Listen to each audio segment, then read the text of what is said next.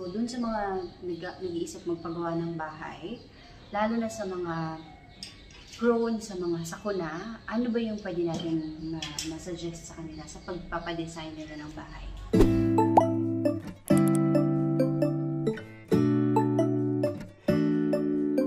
Good morning mga tangay. Nag-start na tayo mag-layout ng tiles at mag-install tayo ngayon. Ito yung gagamitin natin, dry pack. Ano siya, para siyang pang plaster. Ang mix ratio niya, 1 is to 3. Isang part ng ah, semento, tatlong part ng buhangin. ah, fine sand. Ang consistency niya dapat, yung kanyang mixture, dapat ganito. Yan.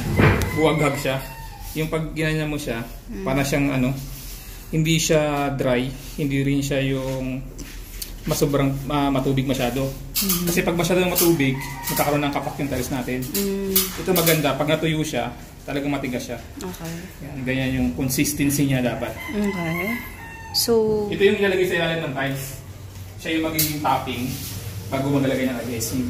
mm, so ano na yung ginagawa natin ngayon? Ito na yung layout ng Kiamari. Hello mga tangay, welcome back to our channel. If you're new here, I'm Janice and I'm glad that you're joining us in our home build journey. We're now on week 26. Please make sure to watch until the end because we've prepared an info-packed video for you this week. We'll be doing tile installation both on Mama's floors and her bathroom walls. We'll also take you with us as we choose our water closet and lights. At the end of the video, we'll talk about ideal house designs for calamity prone areas. Because while we were doing this video, Super Typhoon Rolly was ravaging the Bicol region. And so we pray that the Lord will be with our people. This is our small gift, our suggestion for our Tangay OFWs from these areas so that they can better plan and design their homes to be typhoon proof. But before that, let's keep tiling. Before we install the tiles, let's make sure to lay them out first.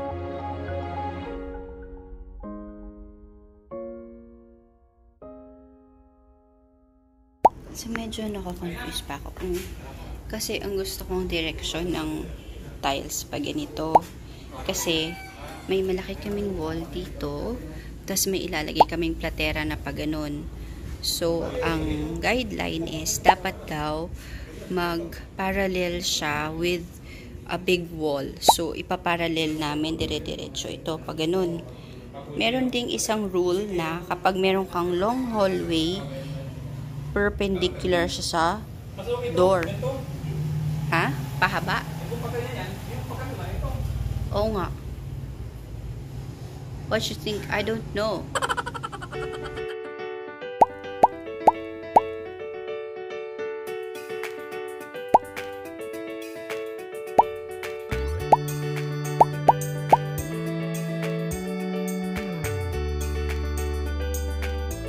We were a bit confused as to which direction the tile should go.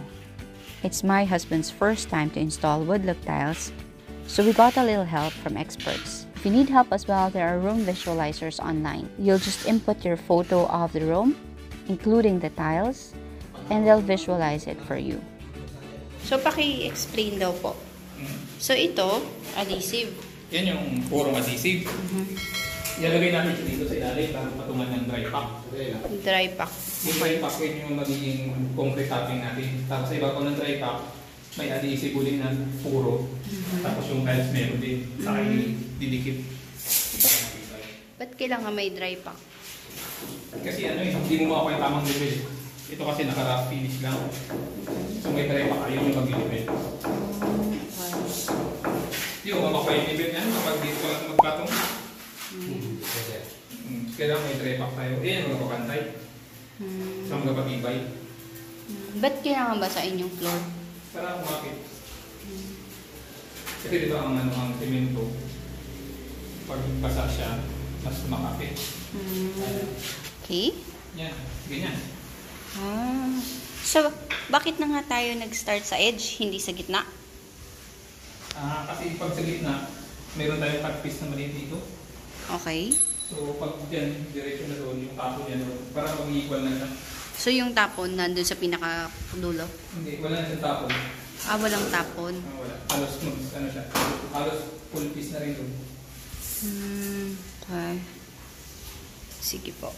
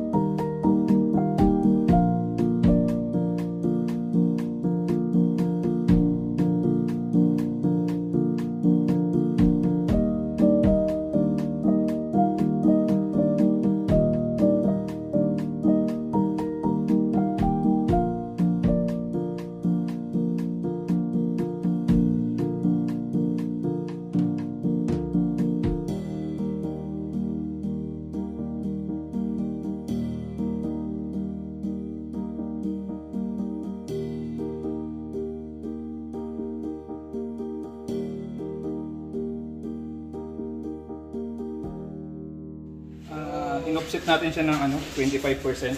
Kasi ito 60. 60 centi. Yung 25% niya, nasa 15 inches, ah, 15 centi. Para naka-running band. Kasi Okay. una natin ginawa, pantay-pantay, eh may problema yung tiles. May, ano yung problema ng tiles? Hindi siya straight na straight. Okay. May mga bingkong siya na ano, na side. So kapag yung dulo pantay na, yung gitna, nalumbok. So, ang gagawin, pwedeng ganyan. Naka-running band. Okay. Okay lang ba Okay yun? lang sa'yo, ganyan, tsura, sa wall. Eh, kung wala namang magagawa. Yan nga. Okay lang yun? Okay lang yan. Okay. Gawa na ng discount eh, para maiwasan yung ano, hindi pagpantay. Okay. Sige po. Thank you. Tingnan natin yung nagpupukpok. Ay, gagawa mo po. Ay! Ba't? Anong gagawa mo? Kailangan kasi kung dapat nakarap. Okay. Para yung pagkabit ng hamba, paglagay ng alo, kakapit siya. Kakapit siya. Ayun. Pag madulas kasi, yun, yun siya kakapit. Hmm. Dapat nakarap. Napansin ko yung hamba, yung kabi, magkabilang gilid niya may pako. Hindi. Para paglagay ng tao dito, yung mortar, mapit siya dito. Hindi siya yung dito. Ah, okay. Kaya pag plaster ito, lala.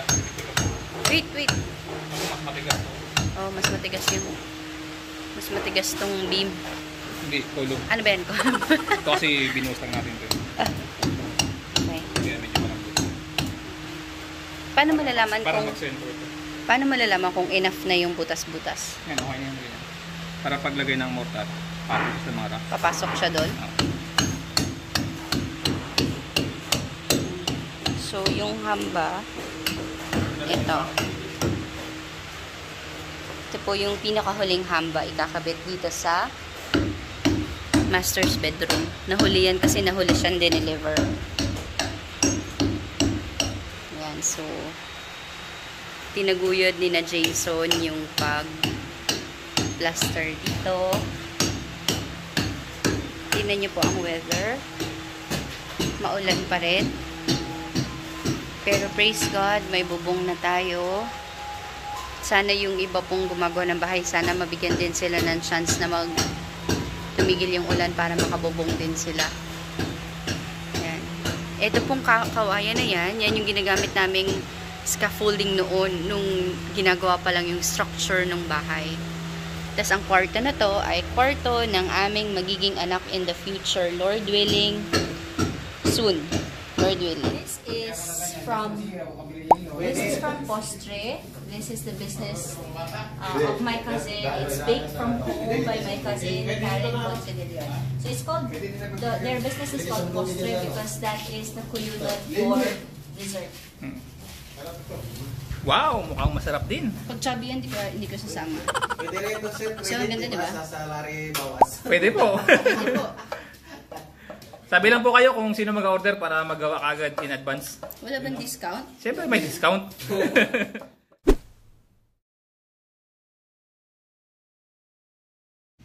Hello everyone, we're here at Home Budget. Not Home Depot, Home Budget. So bibili tayo ng toilet bowl. Ang pipiliin namin ay yung medyo mas mali, madaling linisin. Napili namin kasi, ito yung napili namin kasi madaling linisin yung kilid. So, closed siya. Unlike kapag ka ganun, na exposed, medyo, minsan yung iba, ah, nadidiri maglinis dun sa gilid na. Pero pag ganito, parang pupunasan mo na. Tapos, kapag bibili po tayo ng toilet bowl, make sure na straight lang yung ah, ano ba ang tawag dito, Bix? Straight lang yung butas, no? Kasi may iba na toilet bowl na parang may fold pa siya, parang may pagganon pa. So, imagine niyo na lang po, pag ginagamit niyo yung CR, pag nag Sorry. Sana walang kumakain ngayon, no? Medyo yung iba na iiwan pa. So, it's, it's very messy. So, make sure straight lang siya. Okay? Tapos, hindi nag-iipon ng masyadong maraming tubig. So, ito ay matipid naman to. Soft closing din siya. Water saver. And then, meron siyang pang konti lang, tsaka pang marami. Alam niyo na kung para saan yan, di ba? Hindi ko na-explain. And it's 8,035. Meron siyang kapartner na ganito, pero ayaw kasi ni Abet ng ganyan na nakatayo. Gusto niya nakapatong. Merong isang option doon banda. But we shall see. We'll see kung ano yung mangyayari. Pero ito yung aming napili. Meron pang isa, pero ito kasi yung gusto ni Abet. And ito yung napili namin na. Kaso ito, bibilihan pa natin ng gripo and all. Tama ba? Yun lang yung disadvantage. Kapag kahiwala yung bibilhin mo, yung mga fittings, tsaka yung, yung mga gripo, bibilhin mo pa. Unlike kapag ka, ha? Ah, sige. Unlike kapag ka yung binili mo ay ganito na, kompleto na siya, may, may gripo na siya and all.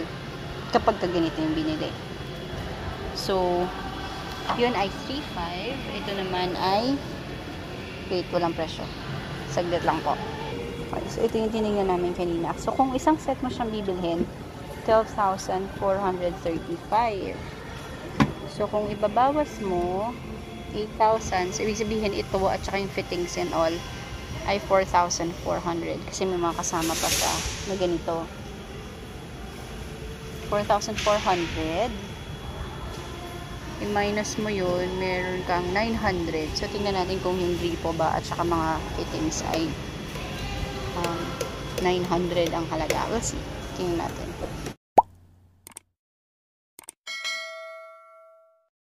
Okay, so we are testing the pin lights that we're buying for the living room, living area. And, kuya, anong name mo? Ah, Diego, ma'am. Diego. Si Diego, tinutulungan tayo. Huwag ka lang makuryente, ha? Ayan, susubukan muna natin. Laki siguro ang bahay pinapagawa niyo. Ha? Hindi, hindi. Mansion daw niya. Hindi ah, hindi. Yan. So, nag-effort pa talaga si Diego para lang mapakita na gumagana talaga siya. Hindi, na? Ready? Ayun. Ha? Si Diego. Ilalagay ka sa YouTube ba? Okay lang? Ayan. Okay. Yan na, Vix. Okay din? Yan yung ano niya. Yan ay pagiging... Ah, pwede. Wala pala yung yung nadidim, yung may dimmer. Ano yun? Kailangan mo ng ibang Apo. klaseng switch doon? May switch tayo dun ma'am. Okay. Ay, may dimmer kami pero switch ang kailangan mo dun ma'am. Mahal ba yun? Depende ma'am sa wattage. Oh, Katulad na yun ng 6.5.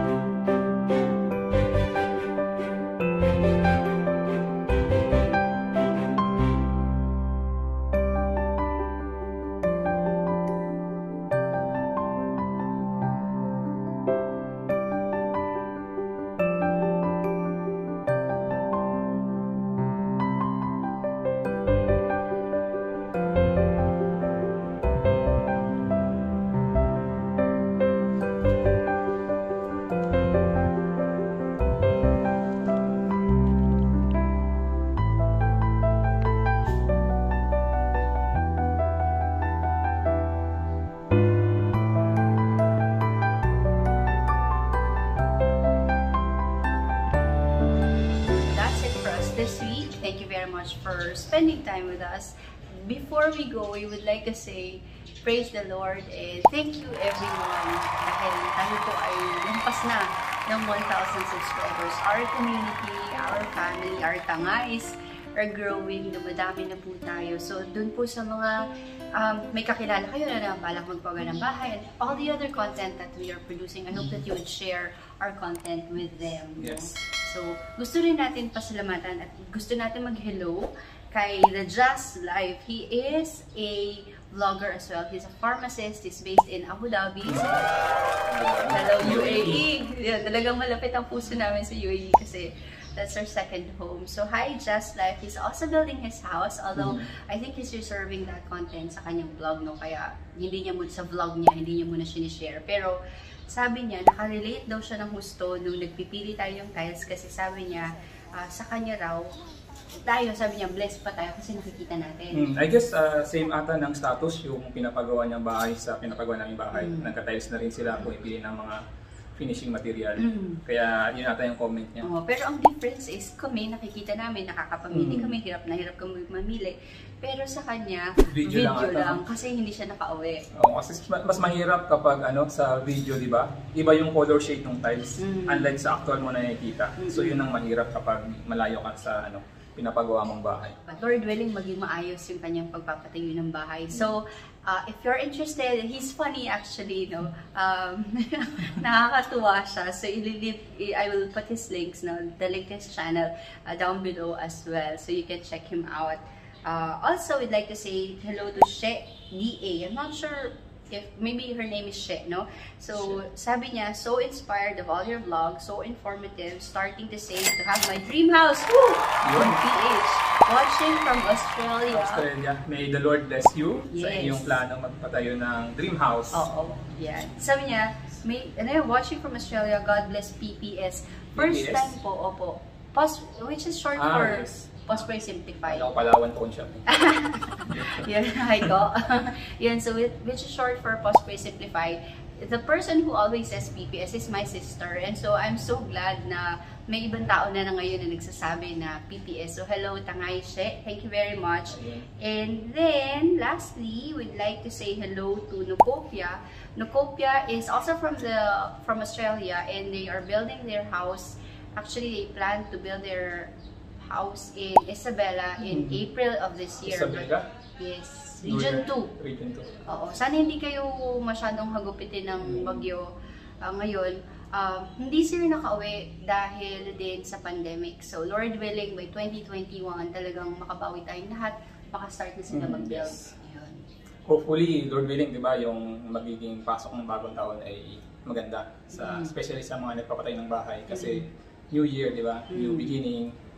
Yan. Yeah. So, hopefully, let's pray for uh, uh, hindi naman problem-free 2021, no? Pero Ah. sana maayos pa rin kahit papaano. But still, kahit na ano pang mangyari sa 2021, all we need is right hearts, no? Ready to face whatever trial, whatever battle that we have to uh, face now with the Lord. Pero, bago po kami magpaalam, ito totoo na talaga ito, bago kami magpaalam, dapat kasi mag-celebrate tayo ng 1,000 subscribers ngayon. Kaso ang dami pong nangyari this week, so i-reserve na lang namin siya sa November. Pag ano lang, 1 million subscriber. Ay, gawin. okay, so bago po kayo paalam, gusto po sana namin mag mag-iwan ng konting informasyon, no? Para po sa mga kapwa OFW po natin na magpapatayo ng bahay, ano ba yung kailangan gawin para maging matibay yung design ng bahay, ano? sa mga lugar na prone sa calamity. So, ano yung, yung dapat nilang ah, tandaan? Ayan, unang-una, di ba, pag nagpatay na ng bahay, una natin titignan yung, ano, yung elevation. Especially pag malapit tayo sa, ano, sa dagat. Di ba, pag daanan ng bagyo yan, yung storm surge, sa tinatawag nila, mabilis umangat yung tubig, pwede maabot yung bahay mo. Mas maganda, una natin i-consider yung elevation ng bahay natin. Di ba? Especially sa mga bahay na area, dapat taasan natin yung bahay natin. Ah, minimum siguro at least 1 meter, especially sa mga bahay talaga. Dito tinaas namin yung level namin from the road around ganun din 1 meter para hindi talaga maabot ng baha. So yun, una natin consider yung elevation ng bahay natin. Number two, yung yung sumasalo ng hangin, especially di ba pag may bagyo, una tatamaan yung mga exterior ng bahay natin like yung bubong unang-una, yung mga glass, yan yung exterior. So mas magandang ano, pa magpapadesign kayo ng bahay, mas maganda yung heat proof o yung tinatawag nilang 4 agwas. Yung 4 agwas, yun yung may apat na slope sa lahat ng ano, sa four sides ng bahay. Kasi di ba pag yung wind direction natin, iba-iba yan eh. So mas maganda kung yung bahay natin naka 4 agwas. Para pag tama ng hangin, less yung traction niya sa bubong. Unlike yung sa mga modern design, di ba na ganyan. Gable roof, dalawang slope lang. Kapag yung wind direction nandito, hindi siya tumama sa slope, pwedeng mabuwal yung bubong. Kasi di ba wala siyang slope, hindi siya naka-slope. So yung protection niya sa wind, hindi ganun katibay. Unlike yung, gab, yung, ano, yung hip roof, apat na ah, slope siya, mas maganda siya sa ano sa bagyo. Pero malakas na hangin, hindi naman yung Yes. normal hangin lang. Actually, ni-revise ng Building Code of the Philippines yung ano, yung pag-design ng bahay. Dati kasi 250 km per hour. Nung tumama yung Yolanda sa Pilipinas, lumagpas siya sa 300 km per hour. I think around 315. Parang ganun. So ni-revise nila, mas tinasan nila yung wind, yung wind design pag nag-consider tayo ng bubong. Yung design wind load. O, design wind load yun. Mas mataas na siya dati, 250 lang ngayon, ginawa natin 300 plus na. So yun, consider nyo yun, yung design ng bahay nyo. Instead na mag-modern kayo, mas maganda yung heat proof, yung 4 agwas na sinasabi nila para maka-withstand talaga siya sa ano sa bagyo. Pero pwede ba na ganun pero matibay na matibay pa rin? Pwede naman yun, especially sa mga lugar na hindi naman tinatamaan masyado ng bagyo, hindi malakas yung hangin, pwede yung mga modern design. Dito kasi sa atin, ginawa natin sa Ba- Balay Biyaya, ah, mas ino natin siya, ah, minaximize natin yung design para just in case nga mas malakas yung hangin, may dumala bagyo, mas protektado yung bahay natin sa bagyo, di ba? Although very rare, pero yes. pero mas maganda na, lang. oh, mas maganda na na talagang pag tinamaan ng malakas na hangin yung bahay niyo, makakaya niyang i-withstand. Mhm. Di ba? And then yung pangalawa, yung yan yung mga windows natin, di ba? Especially yung mga nasa second floor or third floor yung bahay, kung na tinatamaan yan, yung mga windows. So, kung meron lang kayong meron din lang kayong budget, mas maganda na yung tempered glass. Ano ba yung tempered glass compared sa normal na glass? Ang tempered glass, ito yung 4 times siya mas matibay sa mga ordinary glass. Ito yung pag nabasag siya para siyang spider web, hindi siya nakakasugat. So mas safe siya sa ano, sa sa mga ganun. Saka mas matibay syempre. Yun nga lang syempre may kamahalan yun. So yun, i ano yun siya, consider nyo siya na tempered glass. At sa maganda, meron kayong ano, shutter window.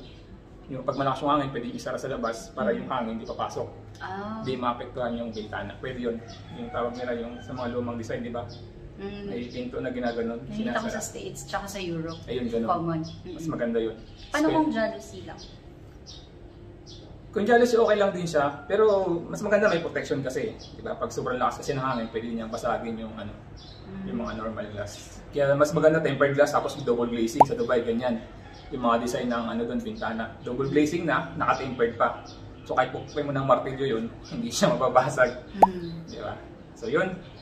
So yun lang naman yung dapat nyo i-consider sa bagyo. Oo. Kung gusto natin matibay talaga yung bahay natin, we have to consider that in the yung design stage ng bahay natin. Ano ba yung mas maganda, mas matibay, especially sa ah, typhoon ah, ng mga country, yung mga type mga typhoon ano yan tawag yan? Dinadaan. Typhoon prone. Ayun, typhoon prone na area. Especially Pilipinas, around 20 na bagyo yan sa isang taon. So mas maganda sa mga area na ano, dinadaanan talaga ng bagyo, mas maganda yung design natin is typhoon proof talaga siya. Okay. So, before we go, sorry. Sorry, mahaba yung explanation. Opo, ito, I hope that we can encourage you. Sabi sa Psalm 46, sabi niya, God is a refuge and strength, a very present help in trouble. Therefore, we will not fear, though the earth be removed, and though the mountains be carried into the midst of the sea, though its waters roar and be troubled, though the mountains shake with its swelling. There is a river whose streams shall make glad the city of God, the holy place of the tabernacle of the Most High. God is in the midst of her. She shall not be moved. God shall help her just at the break of dawn. The Lord of hosts is with us. The God of Jacob is our refuge. Be still and know that I am God. I will be exalted among the nations. I will be exalted in the earth.